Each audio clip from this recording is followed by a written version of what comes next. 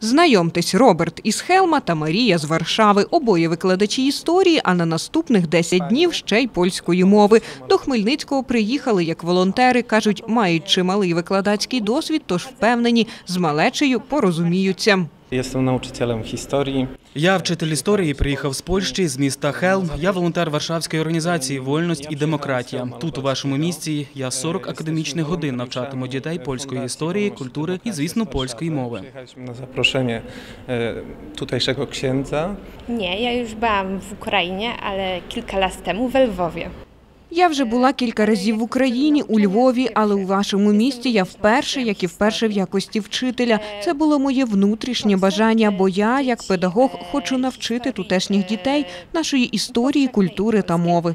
Допомагатимуть закордонним гостям місцеві волонтери, молоді люди, котрі здобувають освіту в Польщі. Літня школа буде тривати 10 днів з 11 до 4 години дня. Дітки мають тут у нас обід, будуть мати додатковий матеріал і вивчення польської мови за допомогою ігор, забав, е, дивіться фільми будуть.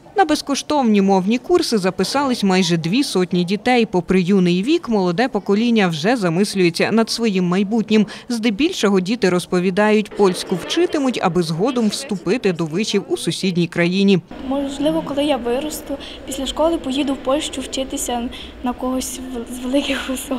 І польська мова мені пригодиться у житті. Потім навчати своїх дітей, і щоб в майбутньому можна було здобути велику гарну професію, і щоб, якщо прийдуть якісь люди з Польщі, щоб мо- я могла вільно з ними спілкуватися. Коли е, ну, виросту, поїхати за кордон, там вчитись. Як не вивчу зараз, то потім буде дуже важко вчити.